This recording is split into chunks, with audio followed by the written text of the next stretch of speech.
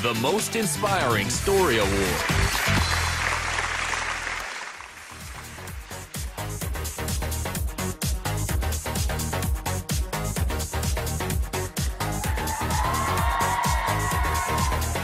Selamat malam, Elman. Award. Wah, sekarang ini saya barengan sama Kevin. Dan Kevin ini adalah Elman of the Year 2014. Yes, betul sekali. Boleh tepuk tangan untuk Kevin, boleh banget. Thank you. Tapi mungkin semua orang yang ada di sini atau yang lagi nyaksikan di rumah, penasaran Vin, inspirasinya atau mungkin alasannya kenapa sih Vin kok mau ikutan acara eh, Elman Award pada waktu itu? Yes, karena saya pribadi memiliki passion, apalagi bidang hidup sehat dan juga di public speaking. Dan dengan terpilihnya menjadi Elemen of the Year 2014 pada saat lalu, saya bisa menyampaikan passion-passion itu dan lebih menginspirasi banyak orang lagi. Wow, Wow, luar biasa. Jadi tujuan utamanya adalah menginspirasi banyak orang. Betul. Nah, ngomong-ngomong tentang inspirasi, penghargaan berikut ini akan diberikan kepada pria yang sukses dalam karirnya, tapi tetap bisa menjalankan gaya hidup yang sehat. Nah, luar biasa itu paket lengkap berarti ya. Yes, ini. Nah, kalau gitu langsung aja kita lihat The Most Inspiring Story Elman Award. Nominasinya adalah The Most Inspiring Story Award. Nama saya Carlo Tamba, saya adalah owner dan founder dari Moving Body Culture. Saya mengawali karir saya bukan sebagai trainer, melainkan sebagai seorang pegawai di sebuah perusahaan swasta. Namun pada tahun 2012 saya menemukan bahwa talent saya sebenarnya ada di bidang mengajar. Kemudian saya juga menemukan bahwa passion saya adalah di bidang fitness. Sampai akhirnya pada tahun 2016 kemarin di bulan Desember kami berhasil membuka private gym kami yang kami ganti namanya menjadi Moving Body Culture. Saya percaya bahwa hidup sehat sebenarnya adalah sesederhana tentang membuat pilihan-pilihan yang sehat. Misalnya memilih bekerja dengan menggunakan meja berdiri atau standing desk. Saya punya misi bukan hanya sekedar untuk membuat orang menyukai dunia fitness, but my mission is to help people live a better physical life with a focus on longevity.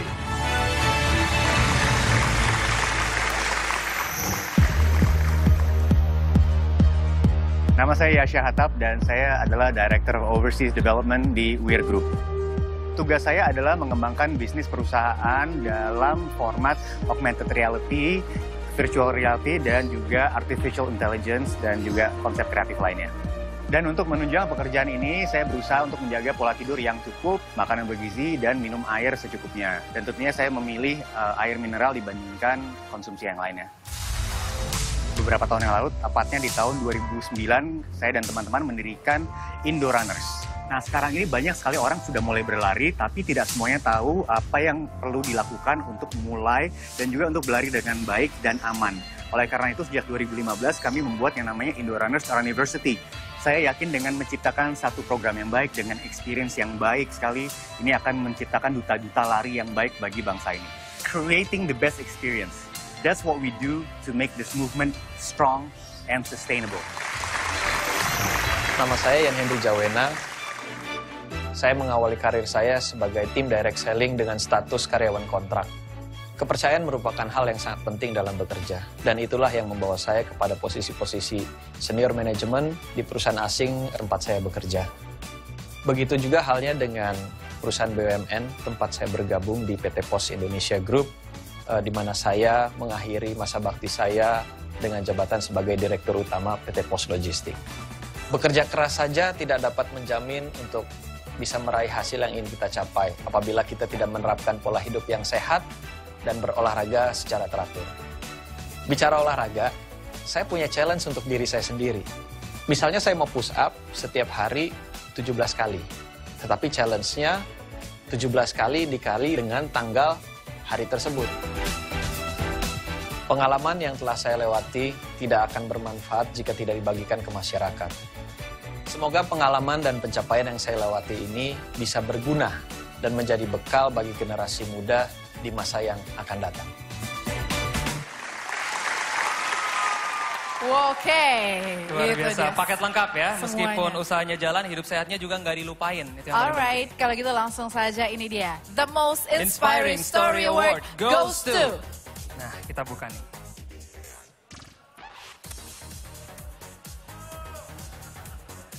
And the winner goes to Yasha Katap!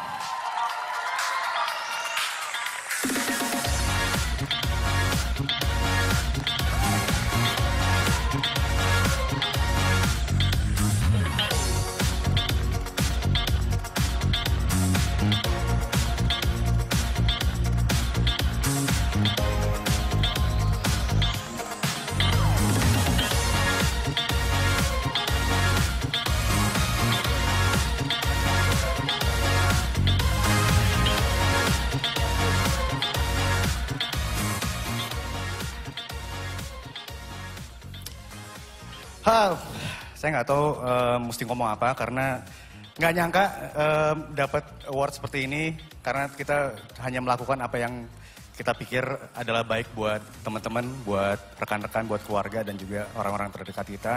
Tapi nggak taunya virus lari ini makin nyebar.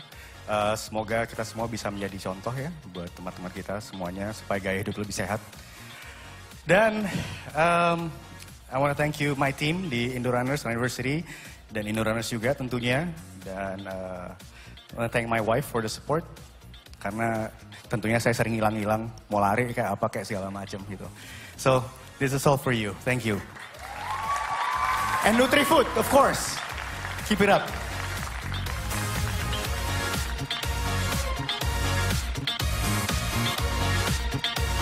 Coming up next, Soundwave, then the Best Physique Award.